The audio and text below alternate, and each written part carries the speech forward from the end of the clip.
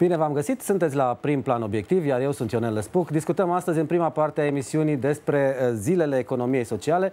Uh, avem uh, două invitate în platou, mă grăbesc să vi le prezint. Conferențian universitar dr. Adina Rebeleanu de la Facultatea de Sociologie și Asistență Socială a Universității Babeș-Băi. De asemenea, doamna Sorana Olaru Zăinescu, managerul Asociației Spiridușii Pădurii. Să rămână, mulțumesc că ați acceptat invitația noastră de a participa la emisiune. Bună ziua, mulțumim! Vorbim despre zilele economiei sociale, dar în primul rând despre economia socială și o să vă rog pe una dintre dumneavoastră să ne spuneți ce înseamnă economia socială pentru cei care nu cunosc termenul acesta.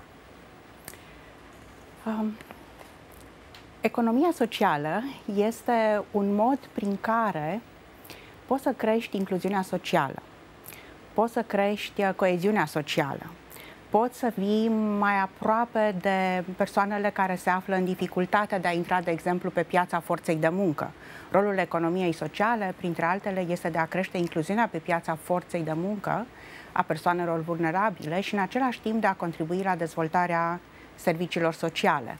Dacă mă întrebați pe mine, foarte simplu spus, economia socială este un mod uh, prin care putem să răspundem la probleme sociale la care sectorul public și sectorul privat nu au răspuns.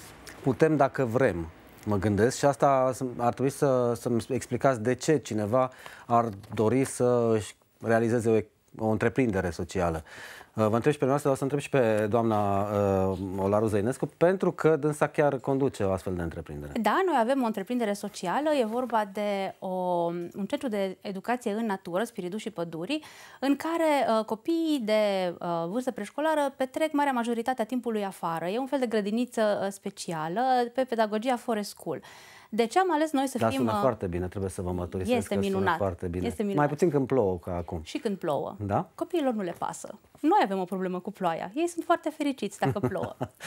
Și să revin acum la ideea de ce am ales noi să fim întreprindere socială, pentru că uh, în Cluj, cel puțin, nu toată lumea își permite să plătească pentru acest tip de servicii. Uh-huh. Și atunci, fiind întreprindere socială, noi o parte din excedentul bugetar, de fapt marea majoritate, îl alocăm pentru a putea primi copii care nu își permit să își plătească taxa, care provin din categorii vulnerabile. Uh, totodată mai avem diverse programe cu copilași care au diferite dizabilități, care pot să vină la noi în însoțiți de părinți sau însoțiți de uh, terapeuți. Încercăm să creăm de la bun început pentru copii o imagine a unei societăți inclusive, da? în care toți uh, avem locul nostru, indiferent dacă suntem diferiți și, bineînțeles, pentru cei care nu pot să plătească pentru uh, aceste servicii, găsim noi ca întreprindere socială fondurile. Da. Uh, și de unde, de unde vin fondurile? Din, din sponsorizări sau uh, vă ajută și statul? Uh, în primul și în primul rând, uh, noi desfășurăm o activitate economică. Părinții care își aduc copiii la noi la grădiniță plătesc o taxă, ca la orice altă grădiniță.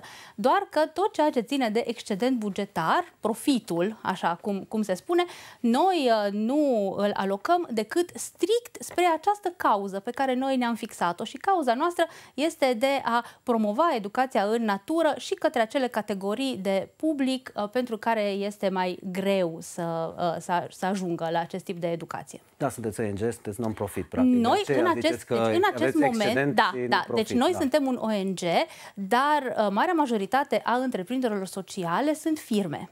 Sunt firme SRL care adică. desfășoară, da, sunt SRL-uri care desfășoară o activitate economică și atunci 90% din profitul lor, pentru că în cazul firmelor e vorba de profit, merge spre o cauză uh, din comunitate pe care fiecare întreprindere și-o alege poate să fie o cauză socială, poate să fie o cauză care, care ține de mediu. În orice caz, e foarte, foarte important uh, să menționăm că în mijlocul tuturor acestor uh, întreprinderi sociale e de fapt omul, omul și comunitatea și nevoile pe care noi le, le avem. Bun, uh, zilele economiei sociale. Uh, acum aș vrea să vă rog, doamnă Rebeleanu, să-mi spuneți uh, în ce constă acest eveniment? Este un eveniment care a debutat în 2014, în noiembrie 2014, atunci a fost la prima ediție Zilele Clujene ale Economiei Sociale și a fost inițiativa masteranților de atunci de la Masterul de Asistență Socială și Economie Socială și a fost gândit ca și o campanie de promovare a economiei sociale, tocmai pentru a înțelege ce înseamnă economia socială, a merge mai aproape de comunitate și uh, a fost gândită ca și uh, o multitudine de activități începând de la Târgul Structurilor de Economie Socială, l-am numit la acel moment, la ateliere de lucru, destinate, pe de-o parte, celor care activează în sectorul non-profit, pentru că întreprinderile sociale și întreprinderile de inserție socială aparțin sectorului non-profit în mare parte, și de asemenea și studenților, dar uh, este derulat în parteneriat pe care l-am construit acum foarte mulți ani, care continuă. O parte dintre parteneri sunt vechi. În fiecare an ni s-au alăturat noi parteneri. Anul acesta, întreprinderi de economie socială și întreprinderi de inserție socială. Liantul comun între cele două este faptul că ceea ce contează este misiunea socială. Întreprinderile de economie socială și întreprinderile de inserție socială au misiune socială activitatea economică este în subsidiar și este practic uh, necesară tocmai pentru a putea atinge obiectivul social pentru care aceste întreprinderi s-au uh, înființat. Iar diferența întreprinderile, între întreprinderile sociale și cele de inserție socială este de, legată de faptul că întreprinderile de inserție angajează persoane din rândul grupurilor vulnerabile în proporție de 30%. Da, avem un exemplu concret uh, la Cluj Cafeneaua Socială, unde avem și un uh, coleg care, uh, de la TVR, Mihai Arsene, care lucrează acolo. Și chiar este un loc plăcut. Mi-amintesc că știrea aceasta cu lansarea cafenelei a făcut zeci de mii de vizualizări pe pagina noastră de, de Facebook, tocmai pentru că lumea a fost foarte, foarte interesată de, de acest eveniment și de ideea care stă în spatele... Da, Lucian a fost studentul nostru, a fost masterand la asistență și economie socială, este absolvent de asistență socială și a fost unul dintre voluntarii uneia dintre edițiile anterioare ale zilelor clujene ale economiei sociale, pe care ne bucurăm foarte mult că am reușit să o reedităm uh, în acest an, după 2 ani de pauză pe perioada de pandemie și mă bucură și entuziasmul cu care și partenerii vechi și partenerii noi uh, au privit acest eveniment și și-au asumat fiecare o parte dintre activitățile derulate sub egida acestui uh, am uit pe program, sunt șase zile pe care le aveți, începând de luni, luni? la da, acest eveniment și sunt foarte, foarte multe paneluri, conferințe, workshop-uri, foarte, foarte intens programul.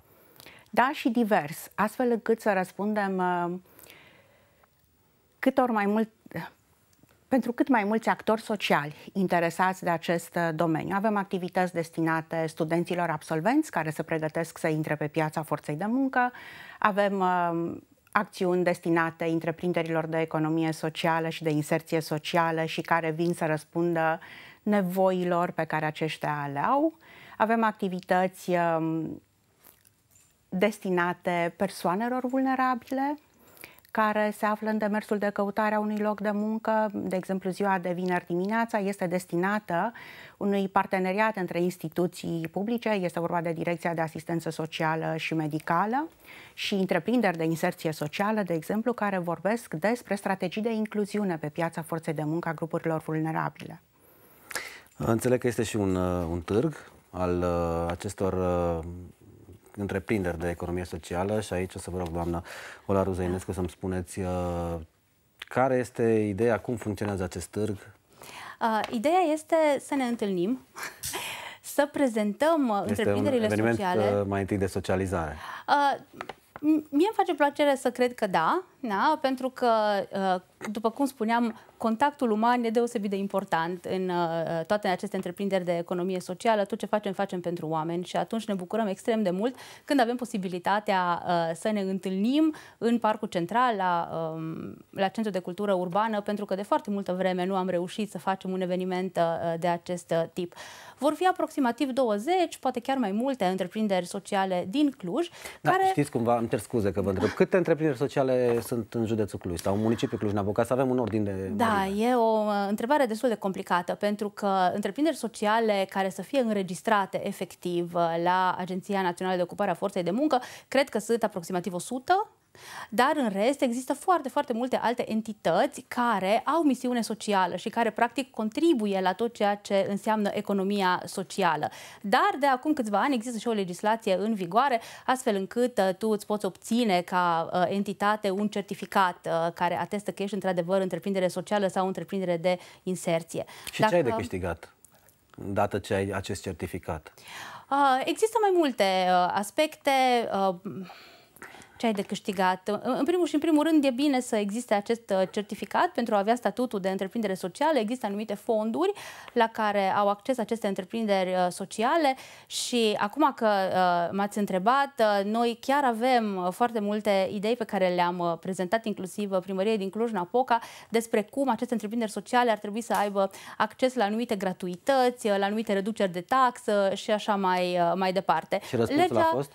Răspunsul încă îl așteptăm, da, da, acum n-aș vrea să zic că răspunsul a fost nu. Oricum este un proces de durată, tot ceea ce ține de dezvoltarea acestui sector al economiei sociale. Uh, noi avem răbdare, uh, suntem convinși că uh, cu cât suntem mai multe întreprinderi care vom duce mai departe doleanțele noastre, cu atât va avea un impact mai mare și la nivel de legislație. Legislația este în schimbare da? și noi sperăm că acest atestat de întreprindere socială să nu rămână doar pur și simplu un certificat pe o hârtie și să ajute efectiv pe, pe viitor toate aceste entități care care îl vor uh, obține. Închide paranteza. Am închis paranteza. Așa, și ne întoarcem, la, ne întoarcem la, la târg. La târg. Uh, în primul și în primul rând, e foarte important pentru aceste întreprinderi sociale să își prezinte uh, activitatea, atât activitatea economică, cât în special activitatea uh, socială, misiunea socială pe care ei o au, către publicul uh, clujan, pentru că și publicul, uh, la rândul lui, ar trebui să facă anumite alegeri conștiente. Da? De exemplu, eu dacă mă duc să beau o cafea, prefer să mă duc la Cofils, pentru că știu că beau o cafea bună, dar în același timp contribui și la o cauză. Dar așa cum există uh, cafeneaua Cofils, există foarte multe alte întreprinderi sociale pe care publicul ar trebui să le cunoască. Da, să nu dăm nume totuși acum. Nu dăm, nu dăm niciun Se numește da. reclamă și n-am dorit nu, nu, să ne penalizeze CNA, da. da. Uh, Doamnă Rebeleanu, um, ar trebui poate să facem așa un ghid pentru cei care ar vrea, nu știu, să-și deschidă o întreprindere socială. De ce? Uh, sau care ar fi, nu știu, trăsăturile robot ale unui patron de firmă din, din aceasta. Respectiv, sigur, ar fi foarte important să facem un ghid pentru persoanele vulnerabile care sunt în căutarea unui loc de muncă și nu știu unde să caute. Pentru că aceste persoane vulnerabile uh, probabil că nici nu se descurcă foarte bine cu internetul, nu se descurcă, nu, nu prea știu cum și unde să caute. Um, o să-mi permit să abordez provocarea dumneavoastră din perspectiva formatorului asistenților sociale și a contribuției pe care eu văd că economia socială o are pe de-o parte pe dezvoltarea serviciilor sociale, pe de altă parte pe integrarea pe piața forței de muncă a persoanelor vulnerabile. Pentru că nu este suficient să angajezi o persoană vulnerabilă, este foarte important să te ocupi de ea și pe urmă, și să-i asigur posibilitatea de a-și menține locul de muncă. Este rațiunea pentru care asistența socială și economia socială merg mână în mână. Finalitatea este aceeași. De ce ți-ai dori să, fii, să deschizi o întreprindere de economie socială? Pentru că ai uh, abilități antreprenoriale pe care tu poți să le folosești în slujba unei cauze sociale, fiind mai aproape de nevoile comunității în care tu activezi. Um, dacă mă întrebați Dar pe termen mine, de productivitate a muncii contează într-o astfel de întreprindere? Um, contează în, în măsura în care este legată de activitatea economică și este clar că desfășurarea unei activități economice este ceea ce asigură sustenabilitatea misiunii sociale. Cele două merg mână în mână. Dar uh, dacă ne gândim la aspecte care mm, nu poți să vorbești de o întreprindere de inserție socială care să aibă aceeași competitivitate pe piață ca și o altă întreprindere cu profil similar, pentru că scopul ei este cu totul altul. De exemplu, dacă povestești cu persoane care lucrează din grupul celor vulnerabile, dacă doriți să dau exemplu, pot să dau um, exemple dacă nu folosesc această sintagmă și le întrebi cum te simți în întreprinderea de inserție socială, el îți va spune mă simt ca și acasă, mă simt ca și într-o familie, vin cu plăcere, plec cu plăcere de la servici, îmi place aici, îmi place ceea ce fac. M-ați întrebat de profil. că sunt persoane, da, persoane care nu s-au adaptat în alte locuri de... Da, și Exact asta este una dintre particularitățile întreprinderilor de economie socială, de inserție socială. Focalizarea este pe om, pe starea lui de bine, indiferent că este angajatul tău, indiferent că este persoana pe care o deservești. M-ați întrebat de profilul unei persoane care ar dori să deschidă o întreprindere de economie socială. Eu aș spune că este profilul unui antreprenor social. Trebuie să fii creativ, trebuie să ai capacitatea de a găsi soluții acolo unde alții văd probleme.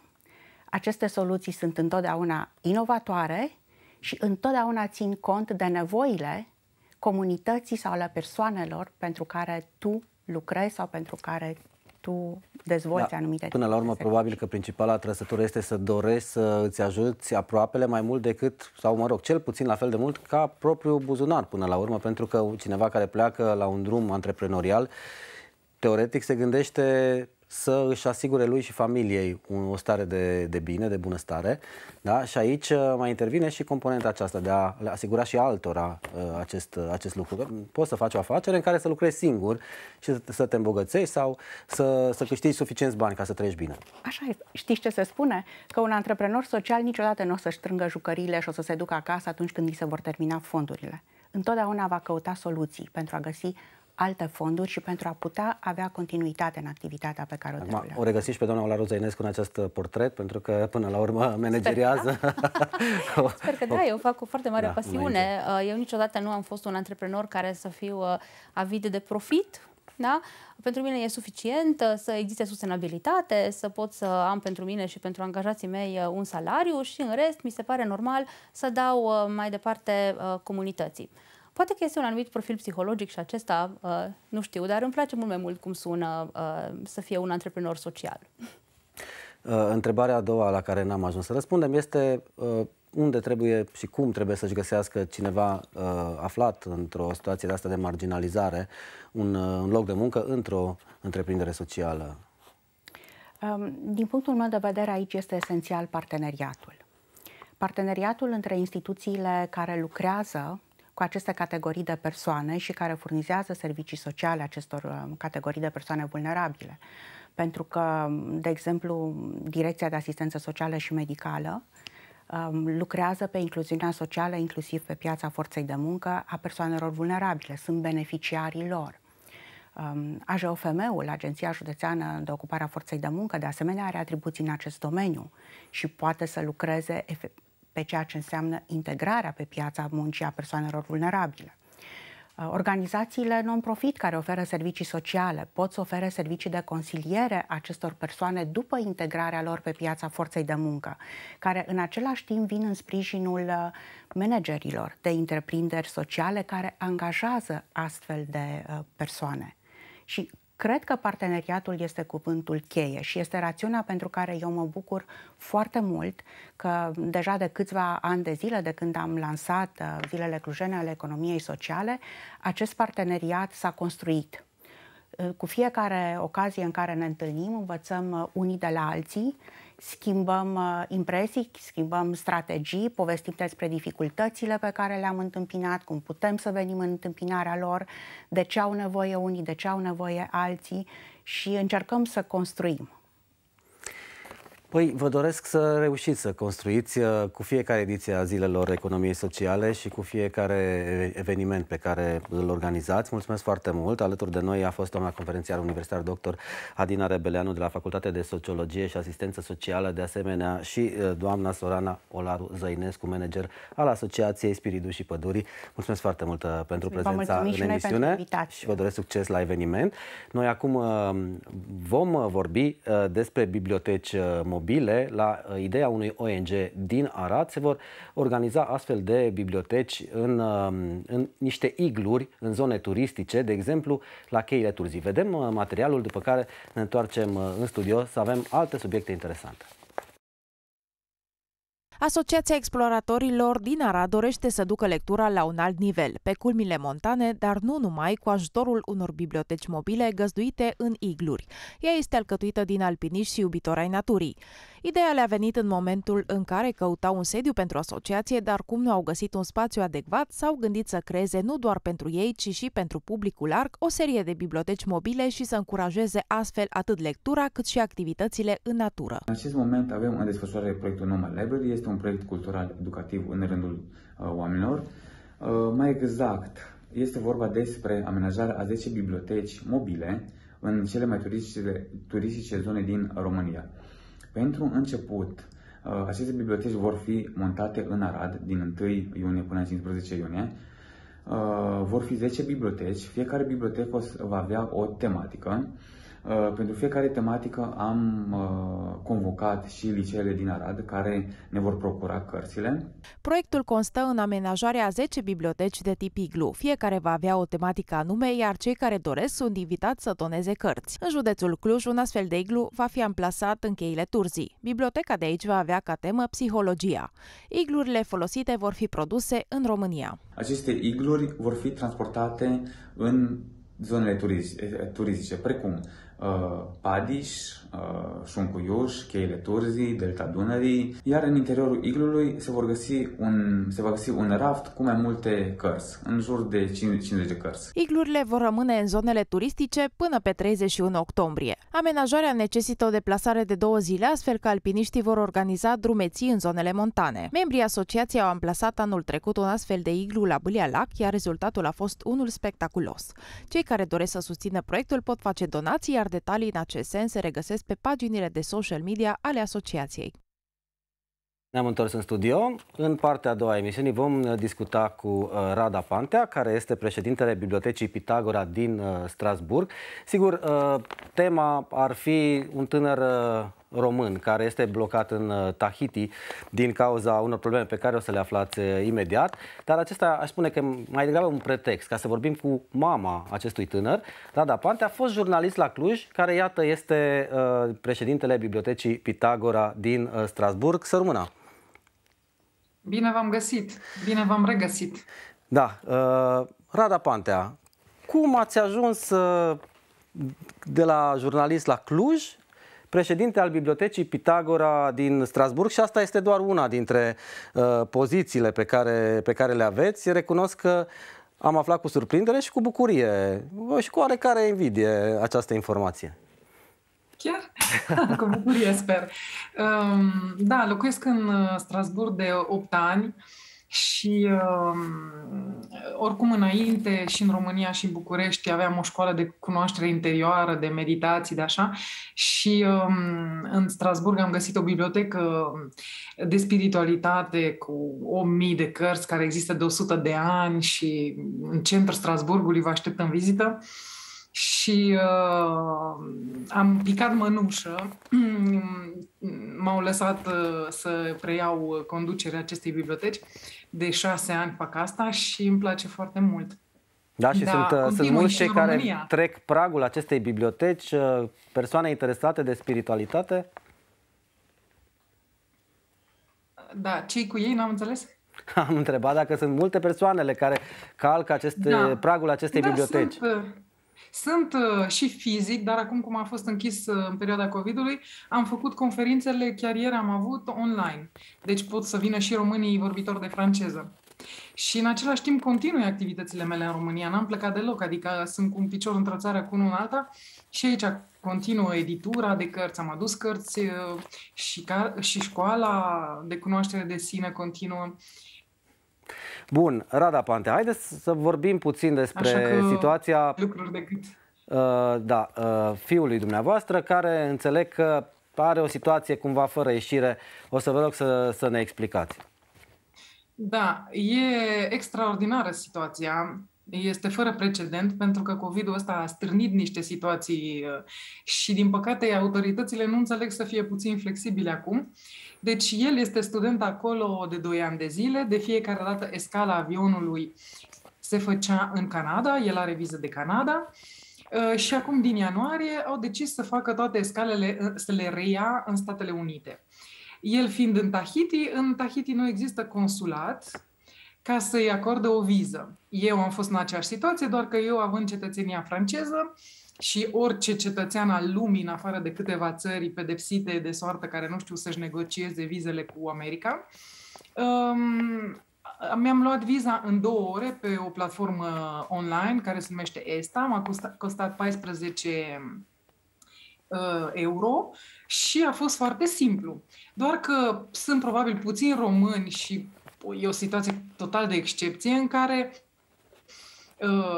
băiatul ăsta a rămas acolo fiind student, e plecat din august și nu știa că se va face această întoarcere cu escală prin Statele Unite, deci nu avea de unde să aibă viză și acum nu poate să o obțină. Am, const- am uh, contactat autoritățile americane și acolo și aici, aici nu primesc niciun răspuns de două săptămâni și și înainte am contactat, ei nu interesează. Deci statul român nu este interesat, am încercat cu Ministerul de Externe, uh, statul american nu este interesat, este problema lui. Deci, în concluzie, să sperăm că poate să se întoarcă de acolo, dacă nu vorbim de un exilat în Pacific, ca și pe da, vremuri. Nu cred, că e, când... nu, nu cred că e urât în Tahiti, cred că e, e frumos acolo. E sigur, frumos, dincolo de glumă, student, cred că e o situație delicată, sigur. Da, ești student de 2 ani, vrei să vii și tu acasă în vacanța școlară de 3 luni de zile, fără de care nu știu ce o să fac acolo, n-are nici drept de muncă, deci pf, nu știu ce s-ar întâmpla dacă eu nu i-aș trimite bani. Deci bani pe card, asta e important să aibă. Păi da, da, oricum nu e, o, nu e o soluție. Deci când se va întoarce el vreodată sau când poate pleca de acolo? Că toate escalele avioanelor sunt prin Statele Unite. Deci, practic, nu este nicio, nicio altă rută. Nu este. Nu, deci, da, da o situație foarte stranie care, care da, nu, nu dau seama, cu vaporul cred că... Păi și cu vaporul, sau nu știu, nici nu, nici nu știu dacă, nici nu m-am gândit Face două săptămâni. Nu știu dacă există această posibilitate. El are biletul de avion pe 2 iunie și pur și simplu nu ne răspunde nicio oficialitate, pe nimeni nu interesează problema asta. E o escală de două ore prin Los Angeles, adică pentru această escală. Și am mai auzit o variantă complet absurdă de la consulatul american din Tahiti, ca să meargă în Numea și pe urmă în Fiji, ca să poată avea un interviu Uh, toată chestia asta, un interviu la ambasada americană ca să-i dea viză, toată chestia asta a costat vreo 2-3 mii de euro și zile în șir, deci este o aberație incredibilă. Deci, eu nu știu, ne-am obișnuit cu, da. cu niște uh, reguli. Mă asigur, glumind în continuare, ar trebui să aștepte până când România primește, este primită în programul uh, Visa Waves. Uh, nu cred că mai este mult, dar nu e o chestiune de zile oricum. Uh, până în 2 iunie nu se rezolvă cu siguranță. Uh, noi am făcut uh, de la TVR o solicitare de informații către Ministerul Afacerilor Externe, tocmai ca să aflăm ce fac uh, ei ca să ajute un cetățean român. Până la urmă, ăsta e rolul uh, ambasadelor, a Ministerului, să-i ajute pe cetățenii români all over the world. Și asta bate până în Tahiti, până oriunde. Da, eu am sunat uh, și mi-au zis la telefon că nu interesează, nu e problema lor, e problema americanilor. Și am totuși un cetățean român care e în dificultate, deci cine să-l ajute? Americanii? Nu știu. Problema asta cu vizele americane este jenantă, este jenantă. Mai da. ales în situația actuală în care avem bază NATO și ne punem uh, la risc uh, propria țară ca să fim da. în solidaritate. Din păcate, da. Din păcate e putem... o situație care se mai leagă de un singur detaliu, faptul că ar trebui să avem uh, maximum 3% respingere la ambasadă la cererile de viză și probabil că înțeleg că, nu probabil, înțeleg că suntem puțin peste acest 3% în, uh, în acest moment. Dar asta dar, e decizia lor, pe cine resping Sigur și pe că cine e decizia nu. lor, dar are legătură și cu persoanele care solicită viză. Mă, mă rog, e, cred că statul român împreună cu statul american ar putea să rezolve această problemă mai mai curând decât, uh, da, decât uh, nu știu, nu-mi dau seama. De, ar trebui să rezolve problema una peste alta. Rada Pantea, mulțumesc foarte mult uh, pentru prezența în emisiune. Sper să ne mai auzim, să vorbim puțin despre bibliotecă, despre Strasburg, despre cărțile de care vă îngrijiți.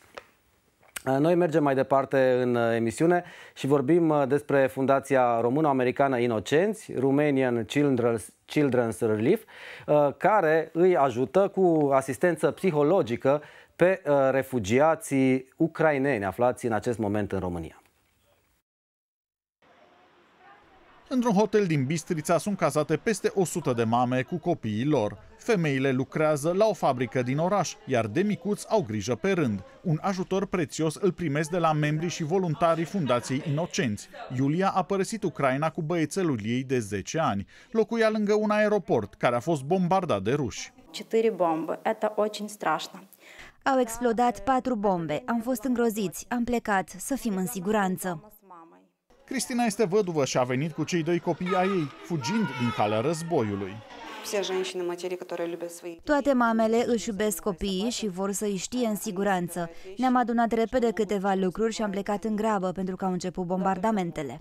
Fundația Inocenți se ocupă anual de 3.000 de copii cu dizabilități prin diversele programe pe care le derulează. Fondatorul ei este fotograful american Michael Carroll. În 1990 a venit pentru prima oară în România. Acum ajută refugiații prin consiliere psihologică. What we need most are translators. Avem mare nevoie de traducători. Dacă vorbiți rusa sau ucraineana, sunați-mă. Avem nevoie de traducători, mai ales aici, în Bistrița. Avem un singur traducător pentru 180 de mame și copii. Psihopedagogii și asistenții sociali ai fundației sunt pregătiți în sesiuni online de specialiști din Statele Unite ale Americii. Nu ne-am mai confruntat niciodată cu refugiați și uh, deontologia e un pic diferită. Am înțeles-o foarte bine cu ajutorul lor. Uh,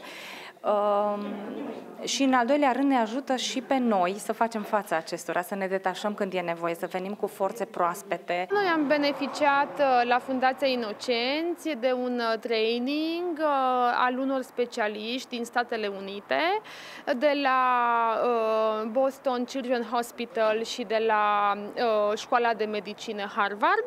Până acum, fundația a strâns din donații, în special din Statele Unite, peste 100.000 de dolari pentru a susține nevoile de asistență psihologică ale refugiaților în cele trei centre din țară, Bistrița, Cluj și București. Studio, discutăm în ultima parte a emisiunii de astăzi despre noaptea muzeelor. Alături de noi se află uh, domnul Tudor Sălăgean, care este uh, managerul Muzeului Etnografic al Transilvaniei. Vă salut, domnule uh, Sălăgean. Vă salut și mulțumesc foarte mult pentru invitație. De asemenea, vom avea alături de noi uh, prin Zoom alte două persoane. Este vorba despre Corina Bejinariu, managerul Muzeului Județean de Istorie și Artă din Zalău. De asemenea, Daniel Iftene, director de departament uh, la Facultatea de Teatru și Film din cadrul Universității Babeș-Bolyai. Uh, cu toții sunt implicați în acest eveniment anual care se numește Noaptea Muzeelor. Sigur că începem cu invitatul din platou, domnul Tudor Sălăgean. Domnule manager, ce face Muzeul uh, Etnografic al Transilvaniei cu acest uh, prilej? Uh, este o noapte a muzeelor în care ne reîntâlnim practic cu publicul la scară largă și sperăm să avem cât mai mulți vizitatori. Bun, paranteza este că pe perioada pandemiei noaptea muzeelor a fost, a fost mai degrabă online online în 2020 uh, și uh, au existat totuși acele restricții în anul 2021, astfel încât evenimentul nu s-a putut desfășura la, la amploarea pe care Sigur. avea înainte de, de 2020. Uh, din câte știu, uh, sunt mult mai multe organizații și instituții din Cluj care participă la Noaptea Muzeelor și, și iar acest lucru ne bucură foarte mult.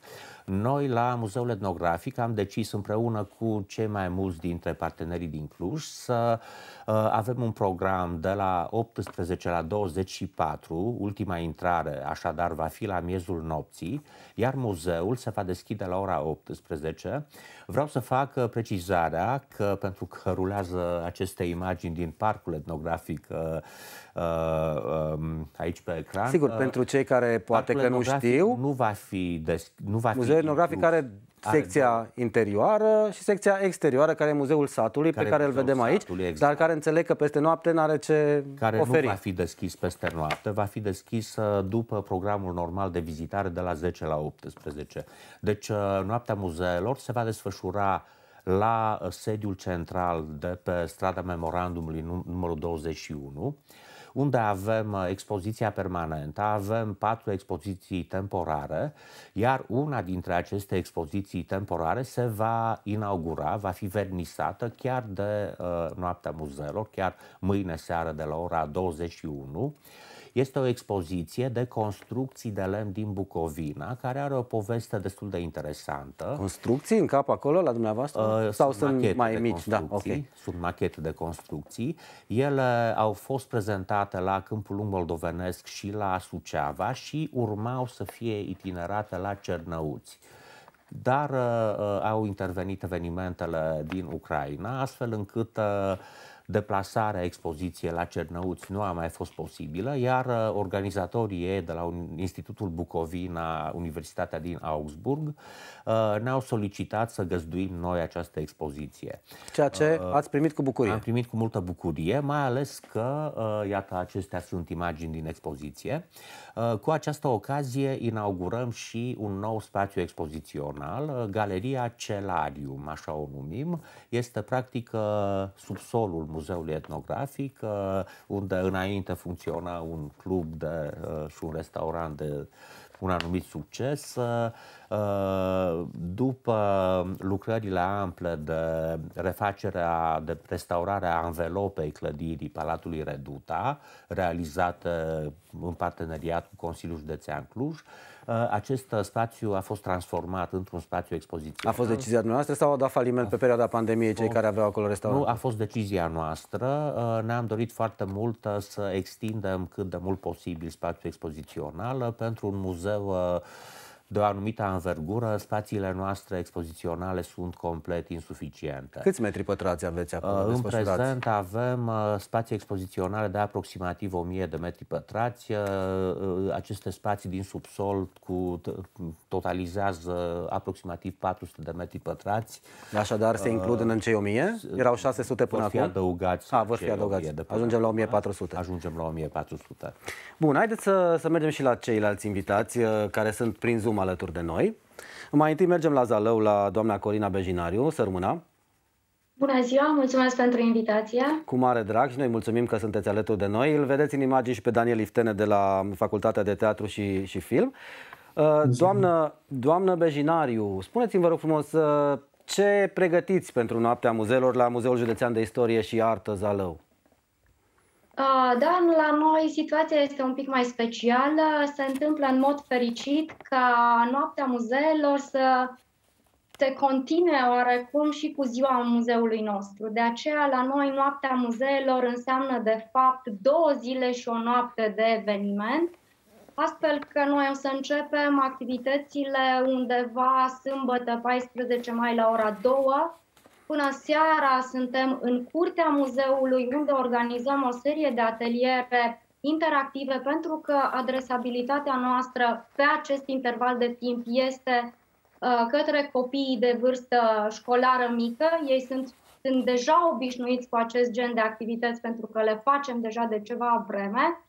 Uh, specificitatea anului acesta este că nu vom fi singuri de noaptea muzeelor, cei care oferim aceste ateliere interactive, ne-am adus și prietenii, așa că mâine o să-i avem uh, în curtea muzeului pe cei din diferite instituții din județ, de la Grădina Botanică Jibo până la uh, Colegiul Național Silvania, deci o să avem o paletă foarte largă de ateliere în care ne dorim să implicăm uh, cât mai mulți copii și da, cuvântul de ordine este interactivitatea, Experiența noastră de ani de zile arată că așa reușim să-i capacităm și uh, foarte interesant, rememorând edițiile precedente, am văzut că am avut copii care au crescut efectiv pe evenimentul nostru și chiar o să avem post-eveniment un asemenea uh, medalion.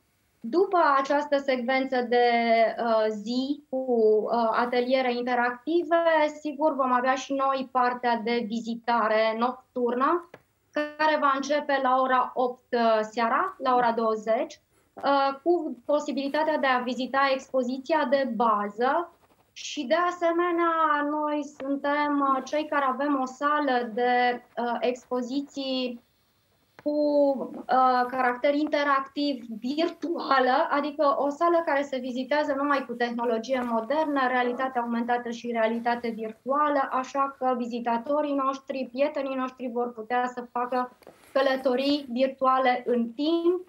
Știm că ea produce foarte mult interes și atractivitate, așa că mizăm pe faptul că Mâine seară lumea va veni să descopere istoria și mai ales istoria locală și în această manieră, adică cu ajutorul tehnologiilor uh, moderne. Vom fi și noi uh, prezenți aici și cu posibilitatea de vizitare până undeva târziu la ora 24 va fi și pentru noi ultima intrare în muzeu Și da, e important de spus, pentru fiecare grup noi oferim și ghidajul specializat. Întotdeauna ne ghidăm vizitatorii, chiar dacă vorbim și de, de noaptea muzeelor, când uh, vizita e ceva mai complexă sau mai uh, aglomerată. Și noi vom continua și duminică pentru că ne aniversăm cei 71 de ani de existență și vom avea de asemenea pe zona de curte timp de patru ore după amiaza, la fel, o serie de ateliere pe care deja, de data aceasta le uh, derulăm doar noi, le organizăm doar noi în muzeu și țin de specificitatea activității muzeale, Așa ca o exemplificare, vom confecționa replici după podoabe antice, avem un circuit al campionilor cu diferite probe de îndemânare. De asemenea, o să avem uh, ca un element de noutate anul acesta un uh, atelier în care lucrăm cu tehnologia modernă, adică participanții vor avea posibilitatea să-și facă, să-și realizeze propriile expoziții virtuale cu modelele 3D a pieselor noastre din a unei părți, de fapt, din piesele noastre, cele pe care le deținem în colecție și o vor putea vizita cu echipamentele de realitate virtuală. Ceea ce spun eu că e destul de Experiența noastră arată că e destul de spectaculos și de interesant, mai ales pentru categoria de vârstă Uh, mai mare, respectiv adolescenții, liceenii, ei uh, sunt uh, foarte atrași de, de tehnologia modernă și tot ce înseamnă uh, utilizarea acesteia. Da, doamna Bejinariu, ah. la mulți ani pentru cei 71 de ani ai muzeului pe care Mulțumim. îl conduceți și observ că nimeni nu doarme în acest weekend la, la muzeul din Zalău. Uh, aș vrea să mergem și la Daniel Iftene, o prezență poate surprinzătoare, având în vedere că uh, este, nu este director de muzeu, este directorul departamentului de cinematografie și media al Facultății de Teatru și Film a UBB. Vă salut, domnule Iftene. Bună ziua, mulțumesc de invitație. Cu mare drag. Care este legătura dintre departamentul dumneavoastră, facultatea dumneavoastră și Noaptea Muzeelor? În primul rând, uh, la fel ca și în anii trecuți, întreaga Universitate Babeș-Bolyai e uh, partea Nopții Muzeilor și celebrează acest eveniment prin uh, muzeele pe care uh, sau care există în interiorul universității, dar pentru noi uh, se mai întâmplă un lucru foarte special și o coincidență foarte plăcută. Faptul că Noaptea Muzeilor anul acesta pică dată cu zilele absolvenților uh, universității și asta înseamnă că e un moment în care ne sărbătorim studenții și uh, absolvenții și de aceea pentru noi, pentru, sau din departamentul nostru au pornit uh, două proiecte. Uh, unul dintre ele e specific pentru Noaptea Muzeelor, pentru că e o expoziție de uh, artă digitală interactivă la un, în interiorul uneia dintre cele mai cunoscute spații expoziționale uh, dedicate uh, acestui tip uh, de uh, opere de artă, e vorba de centru de interes. Acolo vom avea nouă lucrări ale studenților, absolvenților și uh, profesorilor noștri și sperăm că va fi un succes, la fel ca un eveniment pe care l-am avut acum uh, o lună, un eveniment similar pe care l-am avut acum o lună. Uh, evenimentul va începe la ora 9 uh, seara și va dura până la miezul nopții și sper că va fi foarte multă lume pentru că propunerile pe care le au uh, artiștii sau tinerii artiști uh, cu care lucrăm uh, sunt unele foarte interesante și foarte provocatoare, cu unele dintre ele chiar cu mize politice importante, care discută ceea ce se întâmplă în lume astăzi, dar cu ajutorul, uh, să spunem, artelor, uh, noilor arte, noilor media uh, și cu siguranță publicul se va putea juca foarte mult cu instalațiile pe care, pe care le-au pregătit ei. Așadar, sâmbătă, alt... ora 21, centru de interes, ăsta e lângă gară, da? Lângă gara Cluj-Napoca. În spatele gării, exact. Ok. Uh, și al celălalt eveniment, Celălalt eveniment uh, e o proiecție din nou a filmelor absolvenților noștri pe care organizăm în, de la ora 17.30 în Parcul Sportivului Hațieganu. E va fi una dintre puținele proiecții pe care le-am făcut până acum în aer liber. Sperăm că uh, vremea va fi una favorabilă uh, unui astfel de eveniment și uh, aș mai adăuga aici o altă proiecție uh, în premiera unui documentar făcut despre originile uh, Universității Babeș-Bolyai, care va avea două proiecții la turnul croitorilor, de la ora 19 și de la ora 22.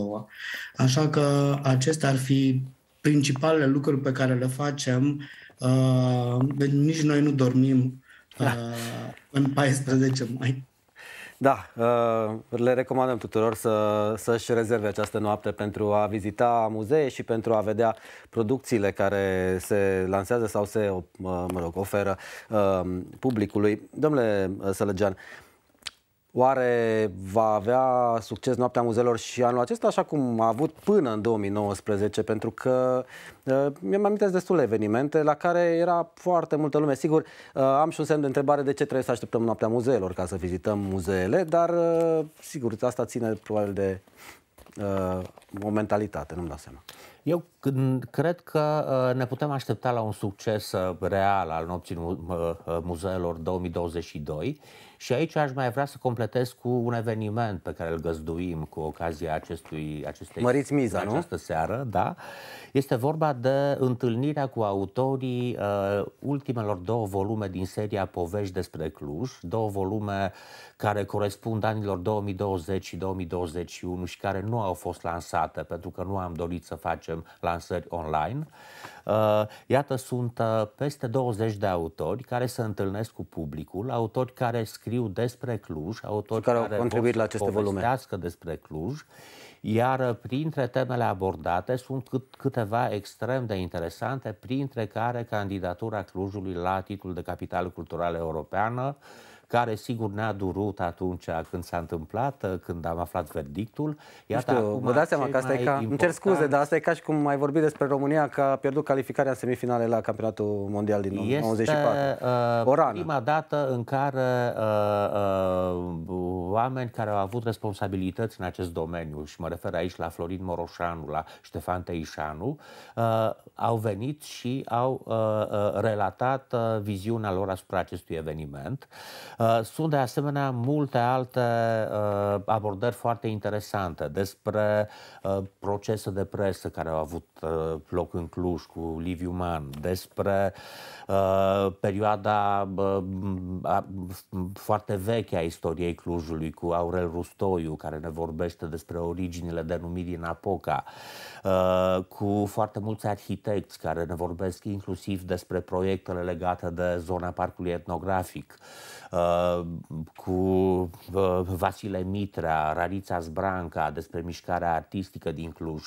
Noi uh, ne dorim foarte mult ca prin prezența acestor autori să poate să încercăm să descoperim o părticică a, să zicem, sufletului Clujului, adică să încercăm să definim din punct de vedere cultural cât mai bine acest oraș, din uh, acest motiv am început în urmă cu 8 ani acest program de întâlniri cu publicul concretizat în apariția câte unui volum intitulat Povești despre Cluj și iată acum, uh, mâine seară, toți acești autori care au publicat în ultimii doi ani vor fi alături de noi. Uh, mai vreau să vă întreb, dar foarte pe scurt, despre, despre posibilitățile de, nu știu, realitate augmentată pe care le, le oferiți. Mi-am de o licitație pe care ați avut-o în acest sens și am văzut și că doamna Uh, Corina Bejinariu vorbea despre uh, posibilitățile pe care, uh, din această zonă pe care le oferă muzeul din Zalău. Adică, practic, e un trend.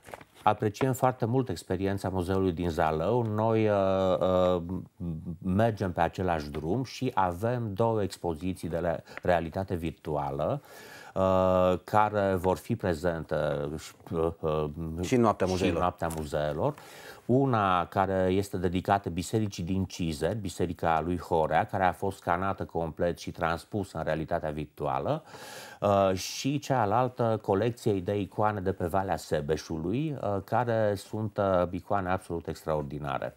Publicul are uh, ocazia de a descoperi această realitate virtuală aplicată la uh, sectorul muzeal. Noaptea muzeelor, noaptea de sâmbătă spre duminică, nimeni nu doarme, cum spuneam aici. Domnule Tudor Sălăgean, managerul Muzeului uh, Etnografic al Transilvaniei, mulțumesc foarte mult. Le mulțumesc și invitațiilor de pe, de pe Zoom, uh, Corina Bejinariu de la managerul uh, Muzeului uh, Județean de Istorie și Artă din Zalău, de, respectiv Daniel Iftene, directorul Departamentului de uh, Cinematografie și Media al Facultății de Teatru și Film din cadrul UBB. Eu sunt Ionel Spuc, vă doresc un weekend plăcut, nu uitați, mergeți la Noaptea Muzeilor, să aveți un weekend excelent, la revedere!